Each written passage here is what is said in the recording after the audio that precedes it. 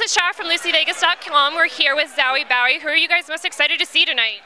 Well, I'll tell you, now that we're standing here, I'm most excited to see you. Me, God. I feel so special. All right, well, I, I know I'm kind of looking forward to Vince Neil in John Well, 5. How do you feel about that? Uh, well, I'll tell you the truth. Uh, it's always a great pleasure to see my buddy Vince. Uh, you know, Oh, especially because I'm sure we're gonna have some cocktails afterwards, and that's always the best part. Can I come? Of course you can. You're, you're kidding me? Heck yeah. All right, LucyVegas.com has a date afterwards. We have to go.